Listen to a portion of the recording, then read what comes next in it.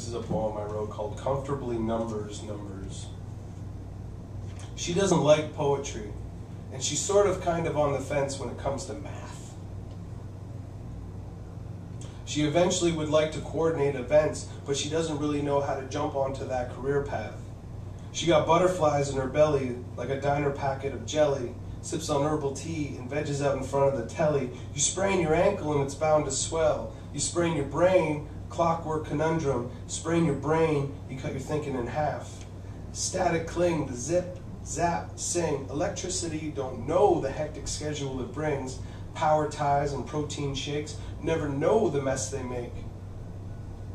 Sever the wheat from the winners. Severe thunderstorms with the luck of beginners. Some say that thunder is the sound of God bowling a strike. I don't see God as a bowler. More like a Major League Baseball player, probably a pitcher. He throws opportunity right at you, but it rolls right past you. Sometimes he throws the ball right at you. I struck out so many times, my effort is in the toilet.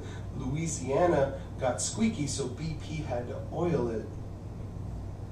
Fossil fuel disaster, man made Mother Nature wrath. Mother Nature doesn't like poetry, and she's sort of kind of on the fence when it comes to math. She detached from the conversation, cool as a cucumber. Somebody better be, better be keeping track of all these comfortably numbers, numbers.